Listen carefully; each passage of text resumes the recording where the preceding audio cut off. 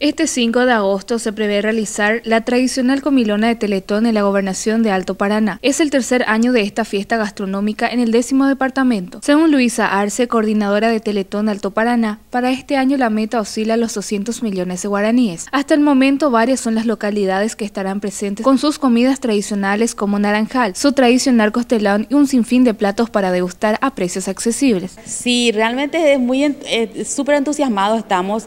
Esto es una fiesta, ¿verdad? Desde todos los preparativos, con los músicos, importantes grupos musicales que están confirmando, los municipios en su totalidad que están confirmando con toda su rica gastronomía que, tiene cada uno de los municipios, las organizaciones de la sociedad civil, eh, grupos de voluntarios de los diferentes distritos, eh, comunidades, por ejemplo, los japoneses, ¿verdad? la comunidad de, de alemanes que suelen estar, estamos por confirmar con otros, con otros sectores entonces, realmente estamos muy entusiasmados y creemos que vamos a hacer una hermosa fiesta gastronómica el 5 de agosto.